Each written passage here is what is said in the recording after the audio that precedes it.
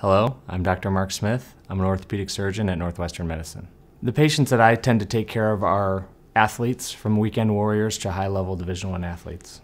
Patients are commonly afraid that when they come into my office that we're going to just immediately be talking about surgery and that that's going to be the first thing that comes out of my mouth and I really try to you know get to know the person, get to know their expectations and organize my care plan around kind of what their desires are. So just because you come to see an orthopedic surgeon doesn't mean you're going to have surgery. Most patients that I take care of are are treated conservatively, whether that's with physical therapy, you know, activity modification, um, or or medications. I connect with my patients uh, on a personal level um, by trying to integrate myself uh, into the community.